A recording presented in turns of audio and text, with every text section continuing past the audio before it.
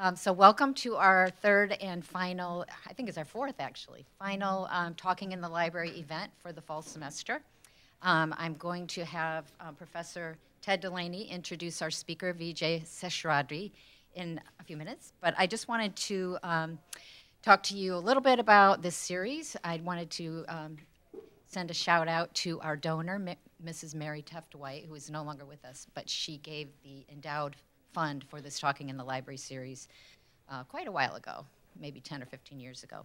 And her son also, um, John Hazen White Jr., gave money for um, supporting this new uh, space that was um, redone a couple years ago and has become one of the best event spaces on campus. so I just wanted to tell you a little bit about the spring events that we'll be having in the Talking in the Library series. Uh, we're going to have a national security scholar named Hayat Alvi, who's a professor at the Naval War College in Newport. And she is a security analyst and decision, she teaches decision-making courses, which probably doesn't make sense to us, but to her it does. And she is also a scholar in the Greater Middle East Regional Studies program at the Naval. And she will be in March, March 21st. And then um, we will have Garth Greenwell, who is a novelist, and he will be our Vermont Fellowship um, in Family Endowment Scholar who will be coming in to work with our creative writing students. And hopefully, some of you are out there who have applied for that Vermont Fellowship, which um, we'll be selecting very soon for that. Um, and his most recent book is What Belongs to You. So he will be talk, reading and talking from that book. And that will be held at Rogers Free Library. We usually do one joint program with Rogers Free Library in Bristol um, in the fall and spring semesters. Um, that will be April 9th. And the final one will be Kathleen Cleaver, who's part of our um, Burse Memorial Lecture um, and uh, Book Exhibition, which we do every year. It's, a, it's an endowed program as well. And um, she is the wife of Eldridge Cleaver, and we will be reading Soul on Ice um, as we'll be celebrating Soul on Ice as um, the book that we have selected for that program. And she's going to be talking a lot about her, her life in human rights struggles and civil rights. Um, in the 60s, she was the first secretary of the Black Panther Party, so we're really excited to have her. And Professor Christine Fagan, who's over here, has just led two of our Burse Fellow students to um, UC Berkeley, to the Bancroft Library to do some selections of materials for that exhibit. So we're very excited about the Burse program. So keep your eyes open on our website. We also have done a LibGuide for Vijay. Um, you can see some of his um, links to his works and interviews. So please go there. Um, it's from our library homepage. Just go to LibGuides and you will see. Um, actually, I think he's featured. There's a picture of him on the on the front page of the homepage. So, without further ado, Professor Delaney is going to introduce our speaker. Thank you.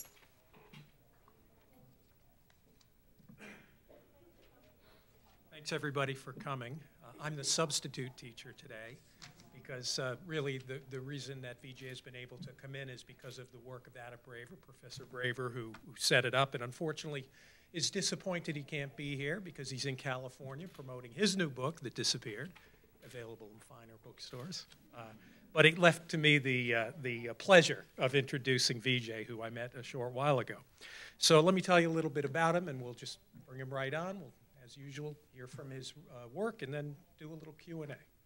So, poet, essayist, and critic Vijay Seshadri was born in India and came to the United States at the age of five. He earned a BA from Oberlin College and an MFA from Columbia University. Uh, Vijay is the author of Wild Kingdom, The Long Meadow, which won the James Laughlin Award, and Three Sections, which won the Pulitzer Prize in Poetry. The Pulitzer Prize Committee described Three Sections as a, quote, compelling collection of poems that examine human consciousness from birth to dementia in a voice that is by turns witty and grave, compassionate and remorseless. Vijay's been the recipient of numerous prestigious fellowships, including New York Foundation of Arts, the NEA, and the Guggenheim Foundation. He's worked as an editor at The New Yorker and has taught at Bennington College and Sarah Lawrence College, where he currently directs the graduate nonfiction writing program. So it's a thrill to have him here. Uh, let me bring on Vijay.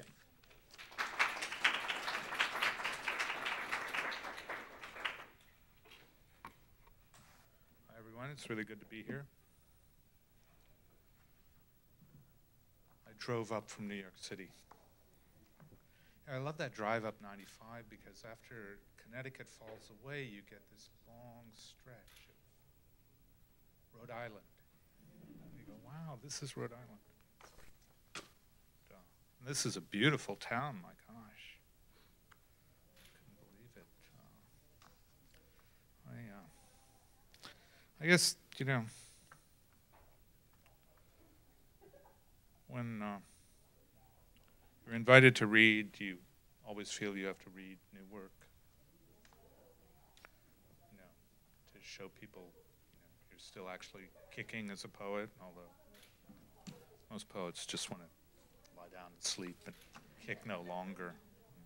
So I'm going to read some new poems, and then I'm going to kind of uh, move on to some older poems. And I think uh, then we're going to have a Q&A. And a bunch of you are supposed to be leaving at 5, or? A few, okay. I shouldn't have said that, right? now everybody will they'll all leave at 5. And uh, these first two poems are from my parents.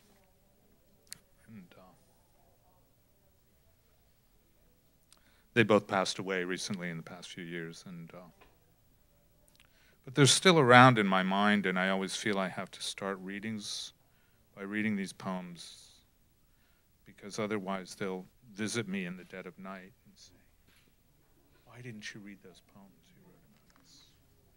This one's from my father. Called Collins Ferry Road. Only a river could bottom out like this not a person, definitely not. And definitely not you. You were always just a person, not you meandering between smoking slag heaps, unmoored coal barges booming down your waters heavier than mercury. Definitely not you. Don't even imagine it. The two eyed fishes in the shallows are doing what? Feeding? Dreaming? No. They don't need ears to hear your ghost who is thrashing and muttering in the brush between the river and the road. Your ghost coming back to where you bottomed out in a way inalienable to yourself, where you thought you should have died but didn't, afraid to go back to where you shouldn't have died but did. I met him up there how did I get here? He asked me.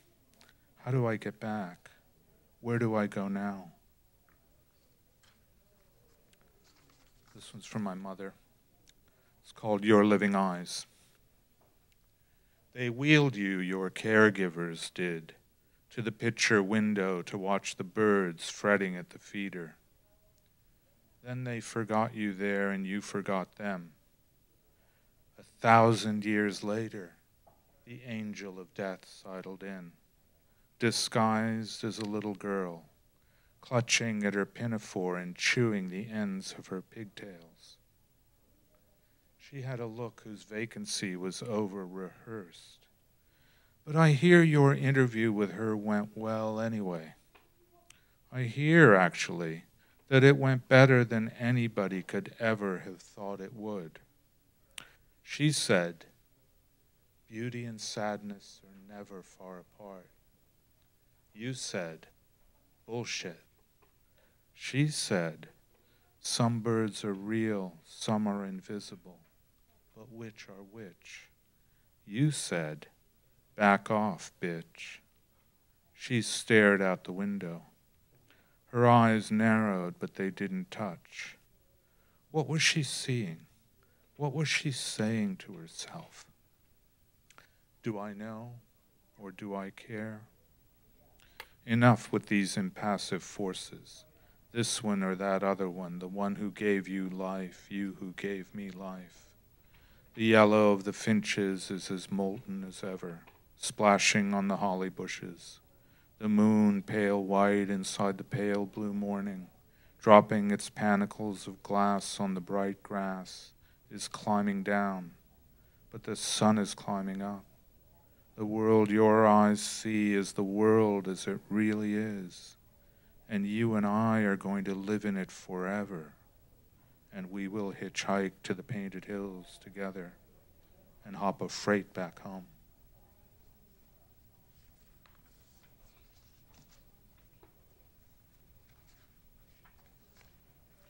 I'll read one more from this bunch. This is, uh, this is actually a poem with a story. I moved to New York City in the early 80s, and I immediately became a resident of the city. And uh, I think the year after I became a resident, I got a jury summons. Summons to, you know, present myself at the courthouse and be uh, maybe selected to a jury. And I thought it was, of course, like everybody else does, incredibly inconvenient. And, uh, and I resented it. And I went down and I wasn't chosen. And I said, boy, that's good. And then, you know, a few years later, I got another one. This is what happens if you're voting in a city, and I always vote. And, uh, and I went down again, disgruntled again, and I didn't get chosen. And, know, and I was relieved, but sort of a little wistful at that time. Because I thought, wow, you know, because uh, I always imagined being on a jury and murder trial, a serial killer, being sequestered, and all that stuff, like having the mafia call you up and like threaten your wife unless you, you know, decide the case a certain way. All those wonderful narratives were floating around in my mind, and I was never, I wasn't getting to participate in any of them. So the second time I was a little wistful, and then it happened again, and then it happened again, and then it happened again, and uh, and after a while, I got very angry and I kept thinking, well, maybe it's because I'm a person of color. But I noticed that other people of color were being impaneled on juries while I wasn't. And uh, then after it happened again, I said, well, it's because I'm, a, I'm South Asian. But then I noticed that, you know, people who looked like they were South Asians were also being impaneled. And so finally I had to conclude that it was me just me, that they didn't want me and they were never going to impanel me on a jury. And, uh, and by this time, I'd moved from Manhattan to Brooklyn, and it happened again. Asked to come down to Adams Street, and I waited in a room all day, and then they said, you know, we don't want you. So I wrote this poem. It has an enigmatic title. It's called Commas, Dashes, Ellipses, Full Stops, Question Marks. People restless on the pews downtown, people not of the book or of the book, itchy and introspective in the big cross section of humanity room in the courthouse on Adams Street. Apothecaries, scriveners, gendarmes, recidivists. 60% are happy 65% of the time. 30% are okay 79% of the time. One is angry. That's what the bulletins from the ethers say. And maybe we'll do something about it. But not today. Today is another day. Today is the day the self's whispering to itself in its hundred endangered languages merges with the sound of water running and scoring grooves in the damp, lithic, adhesive interiors, the limestone cavern of being where flying mammals hang and nurse their young, and contemplate upside down the inscape person waiting to be called out of himself into the light of reason, to be impaneled on a jury here, right here in Brooklyn, so he can judge lest he not be judged, but forgiven, just forgiven. Grace with no instinct to explain itself, pouring out of every portal. Are you blind that you can't see it? I am. I guess I am. Communion, submission, detachment. And what would I rather be doing than sitting here pretending not to look at the rest of you, of the city and of the world? So compelling is your exhausted, disillusioned, but steadfast commitment to the mechanisms of justice, the apparatus of democracy. Twelve good persons and true will be summoned from the cardinal points to. But not me, I guess. The bailiff is saying, Go home, not you, not today.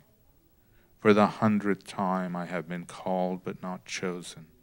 For the hundredth time I have to shuffle into the subway station at Jay Street, where a tall, sweet looking, willowy violinist is playing the chaconne with apocalyptic focus and the ghost of a smile on her lips. Maybe she will say yes to me. Maybe I can stay with her always. Maybe I can sleep on my hands at her little desk. I'd rather, I'd rather, I'd rather go blind than to walk away from you, child.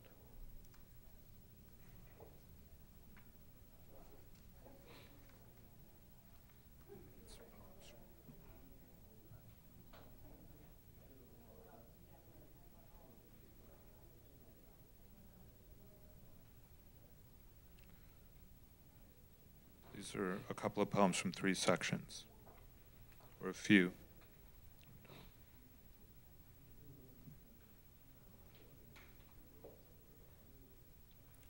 This one is called Nursing Home. The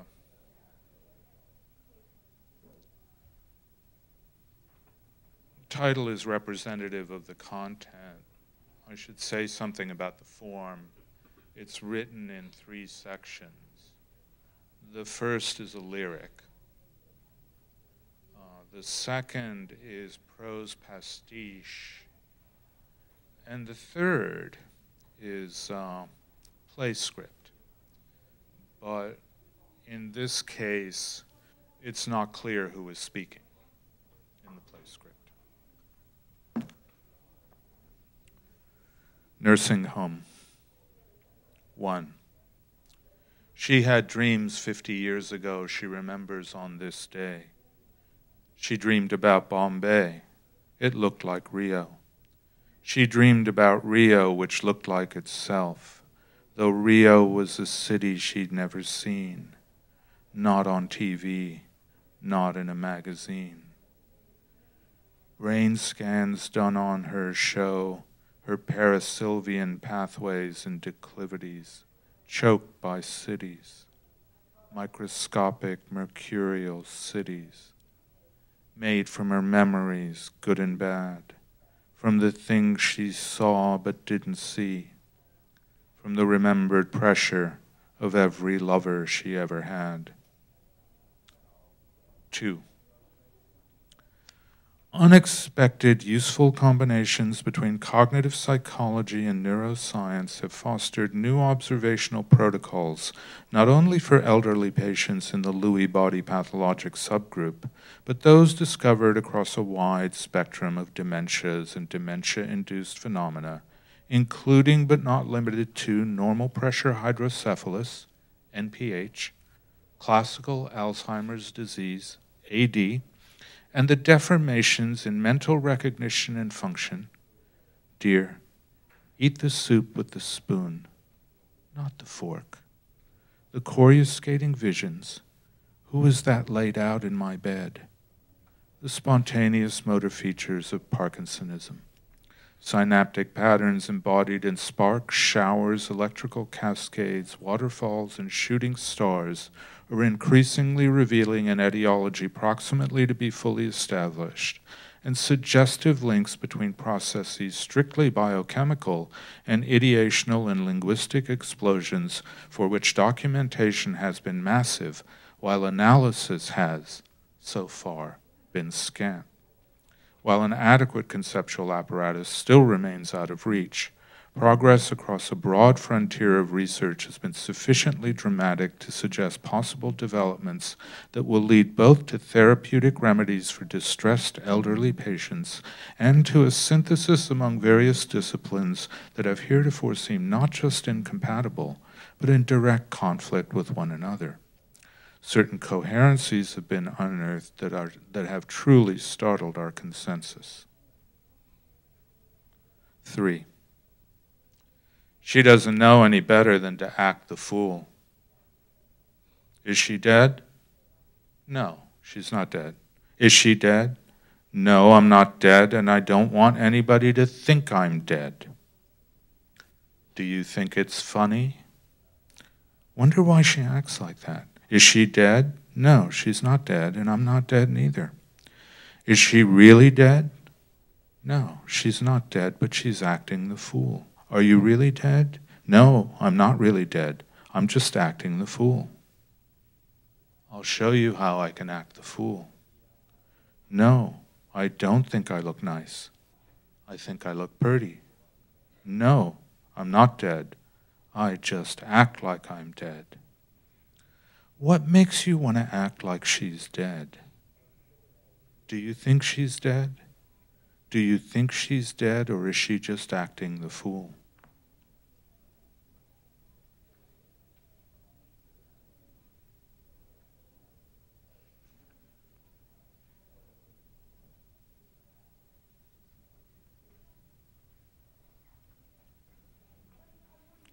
That's the poem that comprehends the remorseless part of the citation. It's the only remorseless poem I've ever written. The rest of my poems are very nice poems. This one is called Guide for the Perplexed. And uh, for about 25 years, I've had a subscription to Science News do you know, do you all know Science News? It's a weekly science digest, digest of every, all of the research, new research in science. And, uh, and it comes in hard copy every week, and it gets piled up on our coffee table.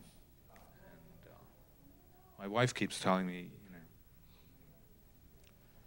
she keeps saying, well, the science news is are piling up again, Vijay.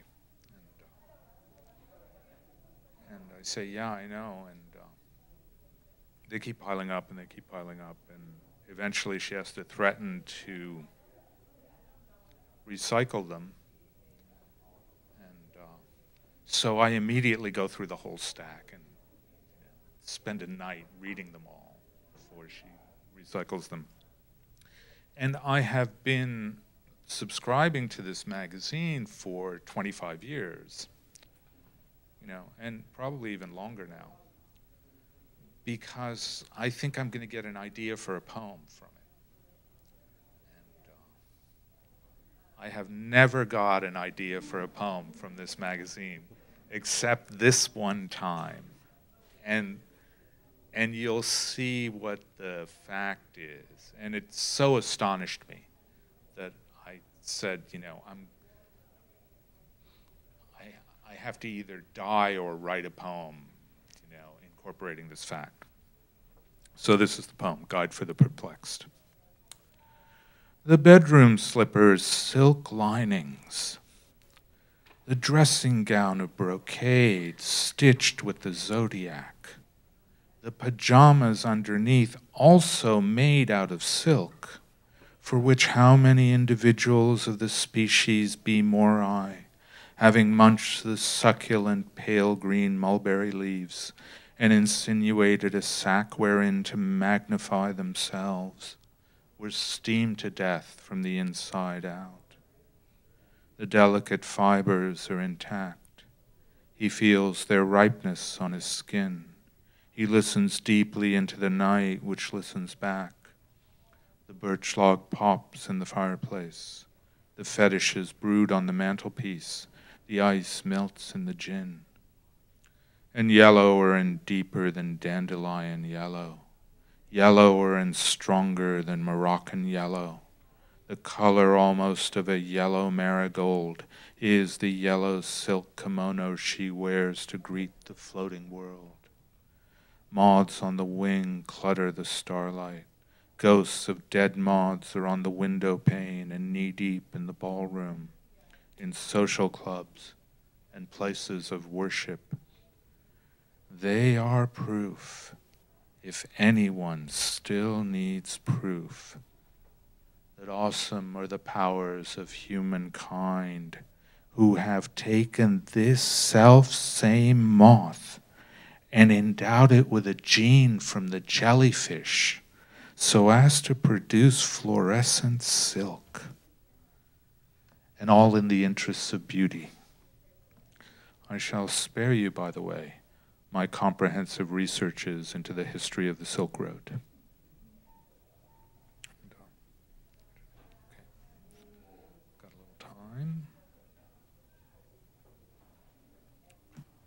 This one is called Bright Copper Kettles. Do you all know where that comes from? I have to, when I'm talking to college audiences, I have to remind people or introduce them for the first time. Many of you don't, right? You don't? Raindrops on roses and whiskers on kittens. The sound of music.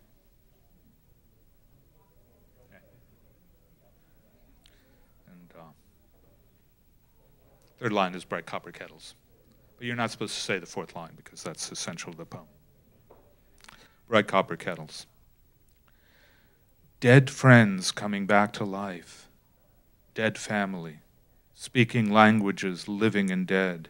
Their minds retentive, their five senses intact, their footprints like a butterfly's, mercy shining from their comprehensive faces. This is one of my favorite things. I like it so much I sleep all the time. Moon by day and sun by night find me dispersed deep in the dreams where they appear. In fields of goldenrod, in the city of five pyramids, before the empress with the melting face, under the towering plane tree, they just show up. It's all right, they seem to say. It always was. They are diffident and polite. Who knew the dead were so polite? They don't want to scare me. Their heads don't spin like weather vanes. They don't want to steal my body and possess the earth and wreak vengeance. They're dead, do you understand? They don't exist. And besides, why would they care? They're subatomic, horizontal. Think about it. One of them shyly offers me a pencil. The eyes under the eyelids start faster and faster. Through the intercom of the house where for so long there was no music, the Right Reverend Al Green is singing, I could never see tomorrow. I was never told about the sorrow.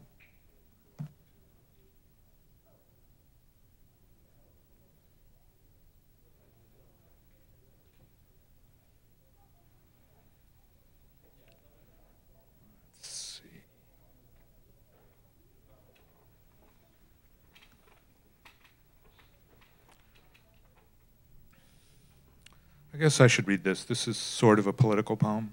I don't really write political poems. I write sort of political poems sometimes. And uh, the jury duty poem was actually meant to be a political poem, and I was asked to contribute to. Uh,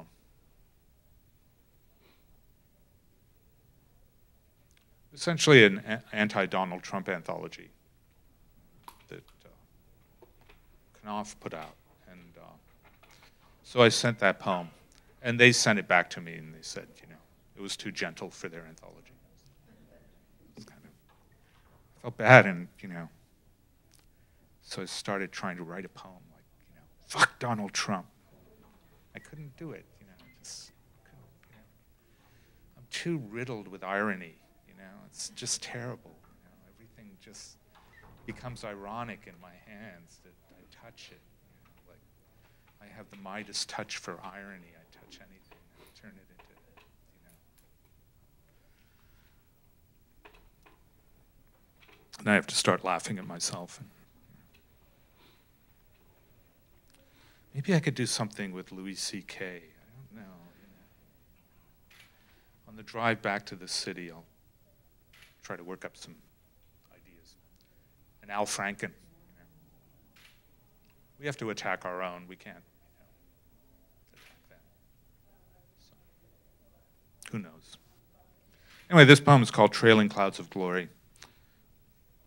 Those of you who read romantic poetry will recognize that phrase. It's from, um, from The Immortality Ode by William Wordsworth, you know, one of the great, great poems of the English language. And the relevant couplet is Trailing clouds of glory did we come from God who is our home. And, uh, you know, I always read Wordsworth's Immortality Ode as a kind of uh, a migration poem. Uh, the, it's a poem about the migration of the soul into the body and the subsequent entrapment of the soul in materiality so that it loses a sense of the tremendous origins of its being and you know, becomes slowly blinded by the material world. And it's a very, uh, you know, it's a heartbreaking poem when you really think about it. And, uh, I chose the title because, not because of that, although that idea enters the poem at the end of the poem. I chose the title because in uh, 2010, the state of Arizona passed law that stated that uh, if you looked like you were an undocumented person, say if you looked like me, you know, I mean, I look so undocumented, right? You know, who would ever give me a document? You know?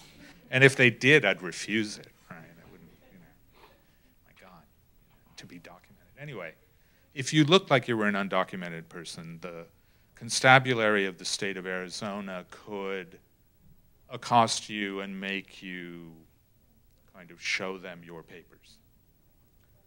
And, uh,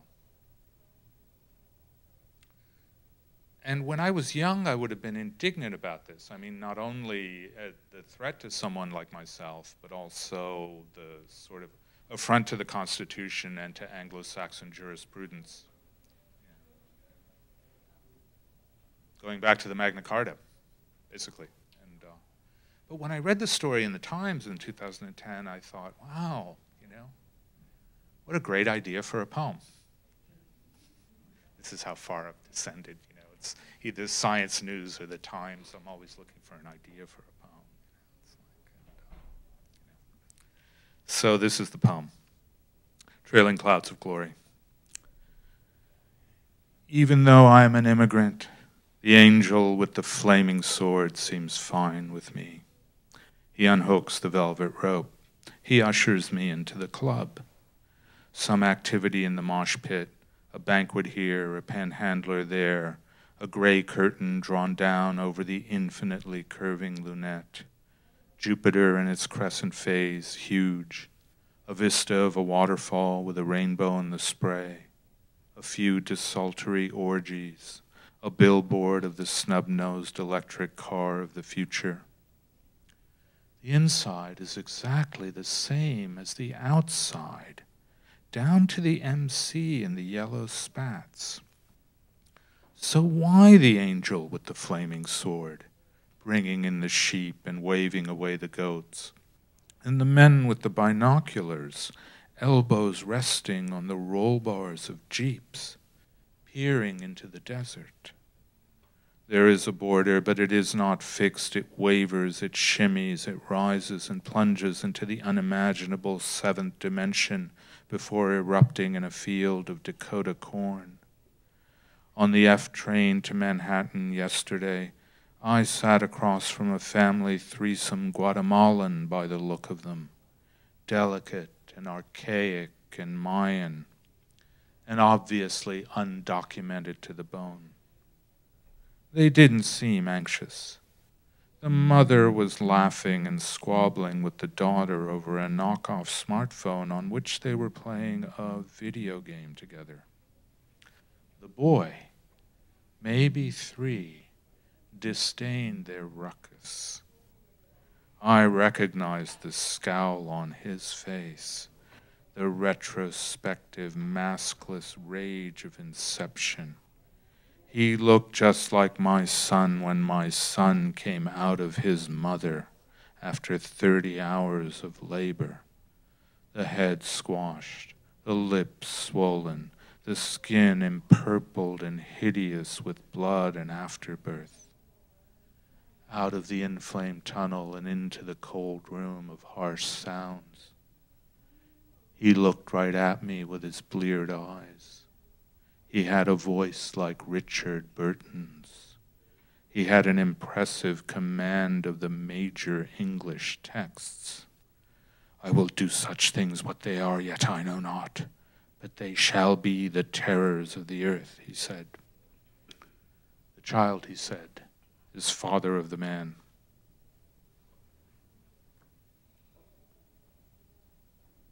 I should actually, I forgot that I was speaking to a college audience of young people mostly, you know. Otherwise, I would have explained who Richard Burton was.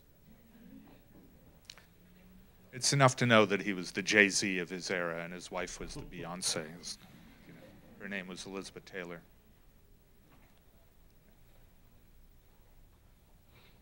He was a great Shakespearean actor, right? And a lot of people felt that Elizabeth Taylor ruined him. Just like maybe Beyonce ruined Jay Z. Same pattern. Anyway, so uh, I'm going to end and then take some questions, but I'll end with this poem. It's called Light Verse. And uh, for a while there in the first decade of the 21st century, the New York Times would three or four times a year publish poems on the op-ed page of the Sunday Weekend Review, and, uh, and I always imagined it like that the New York Times editorial board would get together and they'd say, "Well, let's torture some poets now," and, uh, because they would come up with these really bizarre topics. And they would call up poets and they'd say, well, write a poem on this topic. And of course, no poet can refuse the New York Times. I mean, two million readers, right? I mean, what poet is going to say no to that? And, uh, and so one September, they called me up and they said,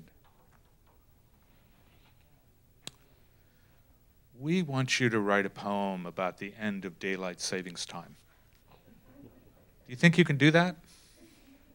I said, Of course I can do that. I've been dying to address this subject all my life. And, uh, so I wrote the poem and they published it, and this is the poem Light verse. Standard time begins. It's just five, but it's light like six. It's lighter than we think. Mind and day are out of sync. The dog is restless. The dog's owner is sleeping and dreaming of Elvis. The treetops should be dark purple, but they're pink. Here and now, here and now, the sun shakes off an hour. The sun assumes its precalendrical power. It is, though, only what we make it seem. Now, in the dog owner's dream, the dog replaces Elvis and grows bigger than that big tower in Singapore and keeps on growing until he arrives at a size with which only the planets can empathize. He sprints down the ecliptic's plane, chased by his owner, Jane. That's not really her name. Who yells at him to come back and synchronize. Thank you.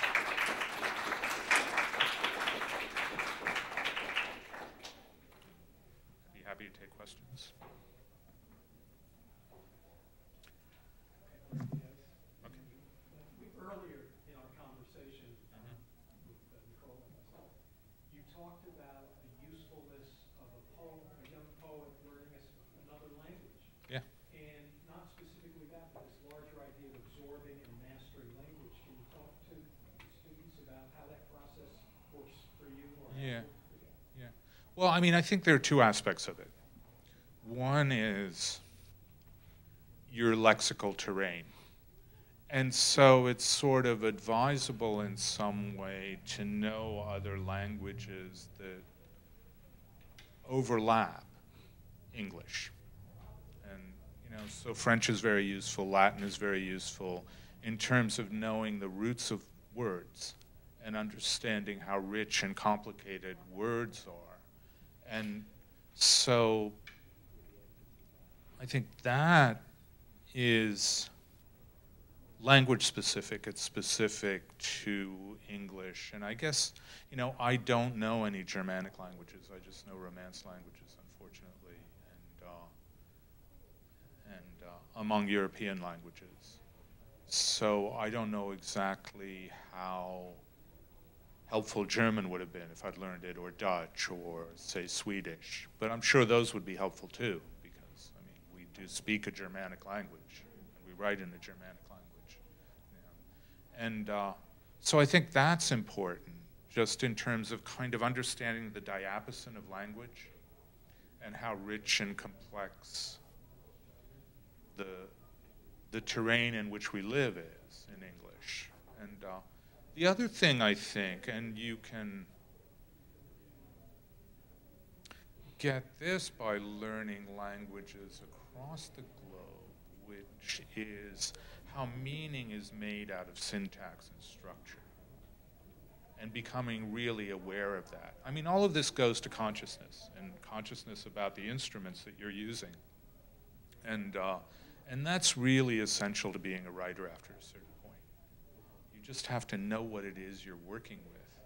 You know, just like a painter has to know their material or a sculptor, you know, you just have to kind of and one of the things that's been very, very useful to me in learning non-European languages is coming across different syntactic structures and different ways in which idioms work and understanding the instability of syntax itself.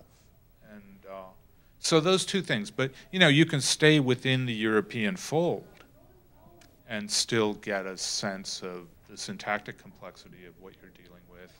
And, uh, and remind yourself of basic things. I mean, I teach a lot of prose writing because I don't really teach poetry at all. I just you know, I started the nonfiction writing program at Sarah Lawrence, and I teach mostly, you know, I teach exclusively actually, prose seminars or give lectures in rhetoric, and uh, and I always at some point make people learn again if they haven't learned it, or if they have learned it, you know, and oftentimes they haven't learned it, you know, the parts of speech. So that they understand how complicated the English sentence is and how many things you can do with it, you know. And in English, we write a very loose and complicated sentence because so many things have come into English. English has had so many influences. And it's such a, you know, I mean, other people, foreign speakers who learn English say that it's the hardest language to learn because it's so, it's not rational. There's no, you know, people can't figure out and when you compare it to, say, French or certainly inflected languages, you know, the, it, it is pretty irrational and strange. And, uh, and so I always try to teach people to be aware of the parts of speech that go up to make an English sentence when they're writing prose and really be conscious of kind of the flexibility of the English sentence. And I think you learn that almost instinctively by learning another language you know, you are comparing that language to English when you're realizing, as you're learning it. So, you're, so there's a back formation, and you're learning much more about English when you're in another language than you would otherwise learn, have learned if you weren't in that language. So it's very, very useful for writers. And I think, you know, also it's useful for us as human beings. I mean, we are living in a global world, and you're not going to go back. Kind of, uh, and to be in another language is also to be in another way of thinking, another habit of mind, very useful to you. So yeah, I'd recommend it. Anything else? Yes? Thank you for coming. I am a political science professor here, so I have really, I'm very nervous about asking you a question. But uh, we have a, a general education program, and in the core seminar, the professors who teach it are encouraged to use materials from outside their discipline. So I have the nerve to use some poetry. I have no idea what I'm doing, but the students who are from, also from across the discipline, I think if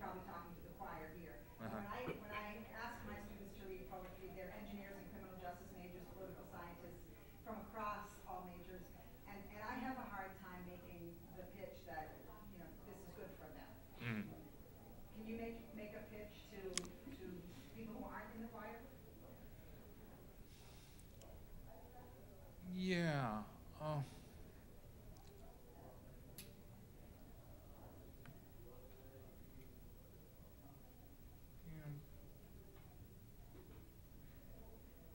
our thought is made out of words. You know, it's imbricated in language.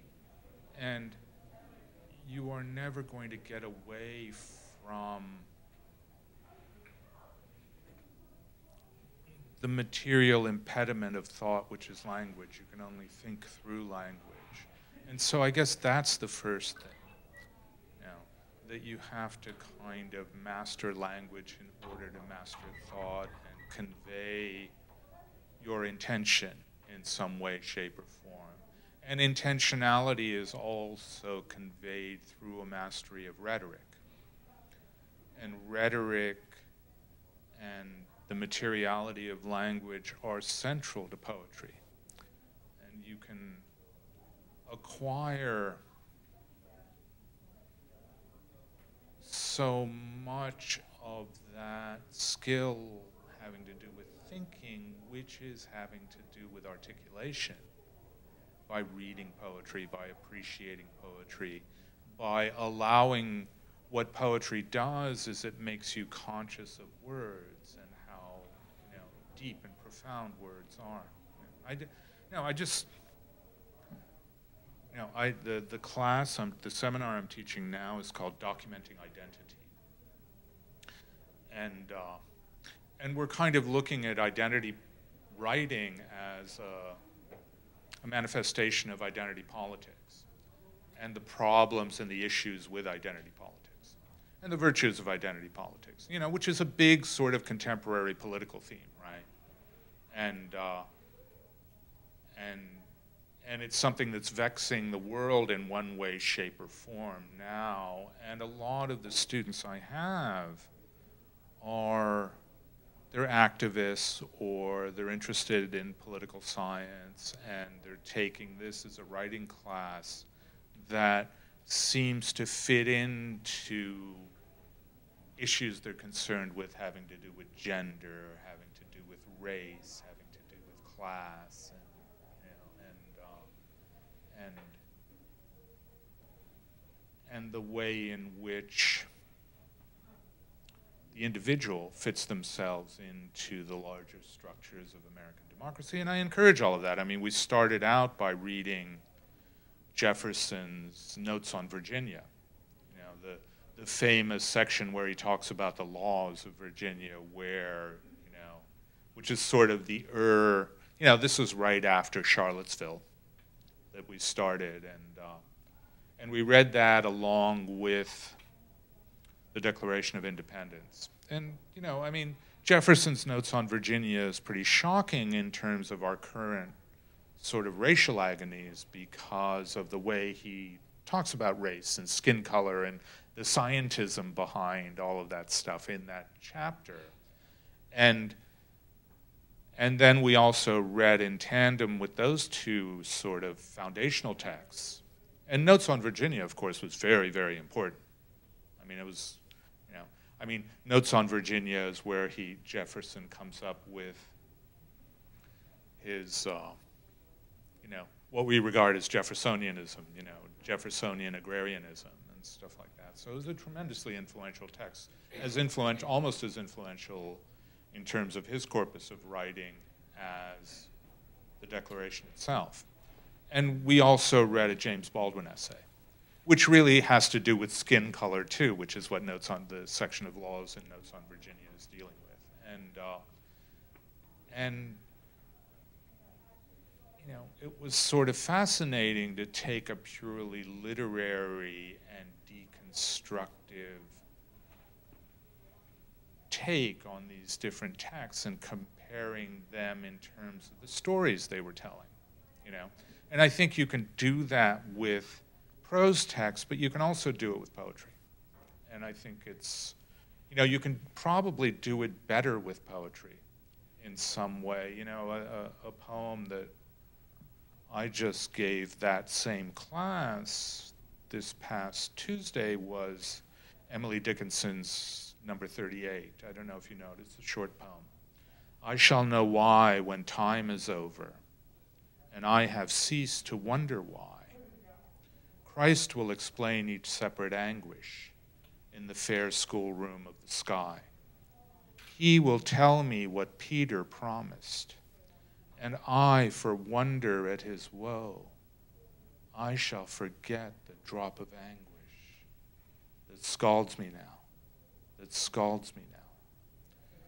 And, uh, and I wanted them to get this poem. It's a very, very small poem, but it's an epic poem, right? I shall know why when time is over, and I have ceased to wonder why. Okay, you know, you know, Christ will explain each separate anguish in the fair schoolroom of the sky. I shall know why when time is over, when I no longer care, you know, and I have ceased to wonder why, I don't give a shit anymore because, you know, I'm dead.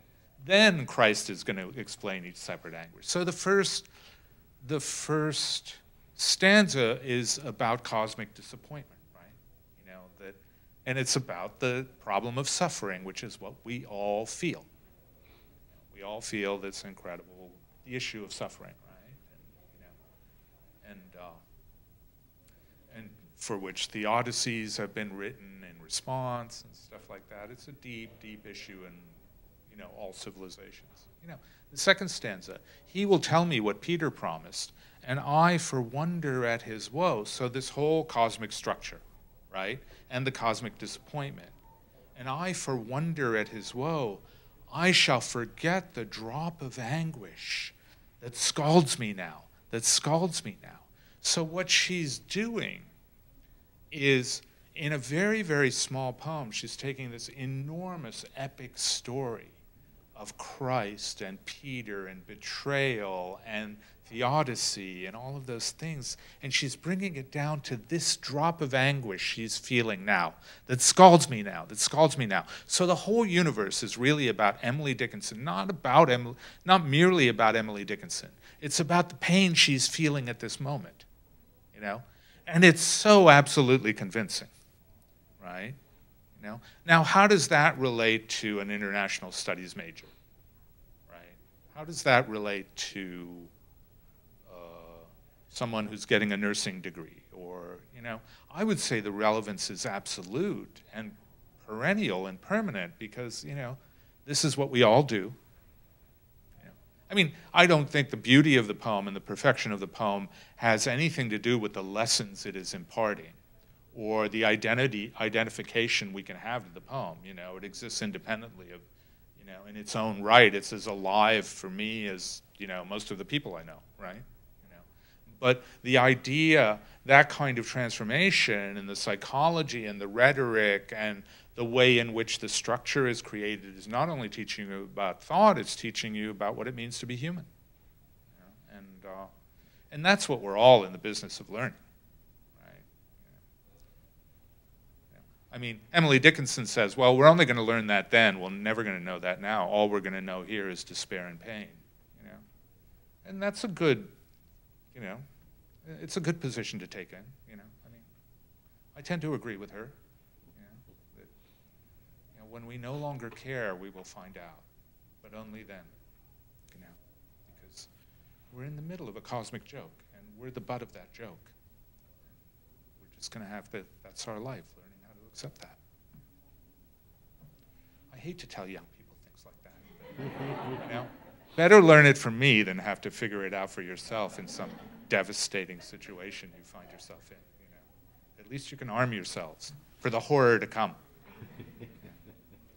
Anyway, uh, any more? Anybody have a last? Oh, yeah, So, a previous poet that was here, I can't hear you. um, a previous poet that was here, she had read, um, her work, and she had said that she was against like, sentimentality in poems, that like, Mhm. she thought, that she thought, you know, she, she revised them so many times that to get to the purest form of the poem, the one that she was the happiest with, that there was no sentimentality in it, because that was kind of like a falsehood. Do you agree with that in your own poetry? Yeah, I mean, I think my models have been poets who are kind of dry and uh, the ones who I've learned the most from. And, uh, and sentimentality in, you know, the, the, the accepted definition of emotion in excess of its cause is something that a poet has to think about, right? Because poetry requires a degree of precision in your use of language. You know? So you can't be a slob about it. You know? But I think as I've gotten older, when I was younger, I used to be more kind of anti-sentimentalist. But now, these days, I kind of, you know, I accept in others a degree of sentimentality I mean, I think it's more complicated in some way. You know, I mean, you don't want to lie. But sometimes we do feel more than we should be feeling about a certain thing. You know, that's kind of our nature. And I was just, you know, I, I, I think I was talking to Ted and Nicole about my the first poet I ever, contemporary poet I ever really, you know, thought was great when I was 16, and that was Galway Kinnell. And Galway Kinnell has always been accused of being sentimental. Yeah. But I don't think it's fair. Yeah, I mean, there's just kind of, uh, you know, he's trying to get at something that he might not quite be getting at, and that might not be accessible to language itself. You know, and uh, you know, and, and I think kind of this actually the the I would put it this way the sentimentality of Kinnell's poems, which gives some of them a slightly overripe quality, you know, is actually a part, a great part of their aesthetic appeal, you know. So I don't think, you know, there are no hard and fast rules with any of this stuff. You know, basically, poets are people who try to get away with whatever they can. And then when they can't, they go, oh, okay, you know, I'm sorry I did that. but, you know, if you can get away with it, go for it, whatever it is. And the world will let you know whether you're getting away with it or not. So that's my advice. Okay. Anyway. Thanks for coming.